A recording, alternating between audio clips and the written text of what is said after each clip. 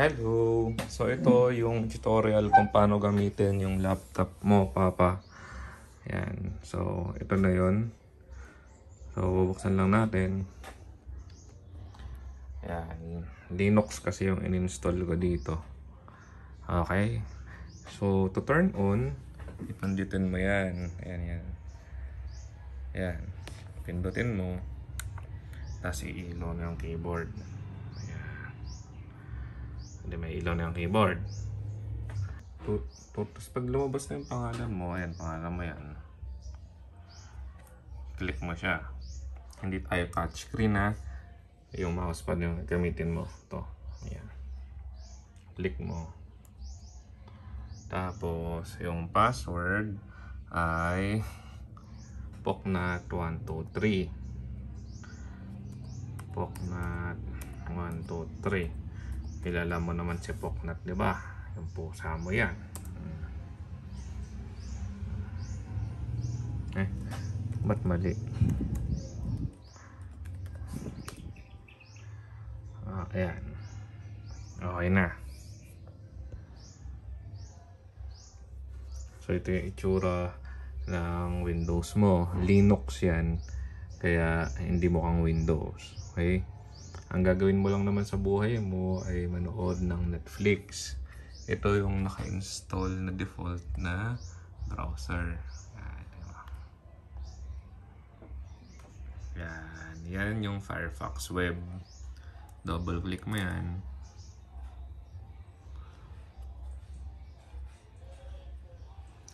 Antayin mo magbukas. Yan. Pagkabukas, linagay ko na dyan sa bookmark yung Netflix at saka yung Yahoo Mail. O, oh, Netflix muna tayo kunyari.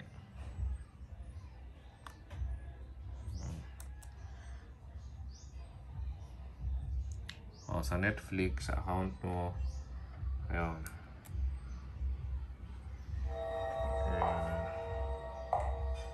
Pwede ka nang manood dyan. Pili ka na lang. Uni.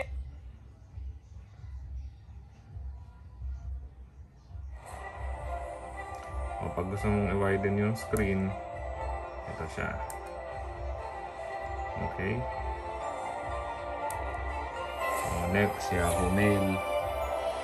In-install ko na rin dito yung Yahoo Mail. Pindutin mo na lang.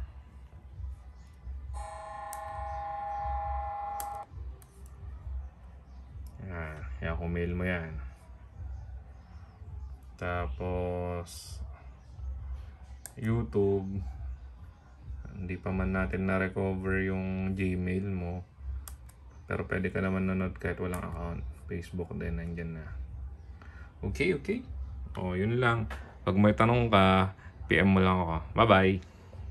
Oh, may pahabol tayo. Paano mag-shutdown? Yung shutdown, madali lang. Dito sa upper right. Ayan. Di ba kita? Hmm. Pipindot mo lang kahit ano dyan. Oh, upper right ha. Oh, may lalabas na power off, log out. Pindot mo. Power off. Pindot mo ulit. Oh, tapos dito may choice. Power off. Oh, power off mo na agad. Yun na. Shutdown na siya. Oh, yan na. Oh, oh pag may tanong, PM mo lang ako. Bye-bye.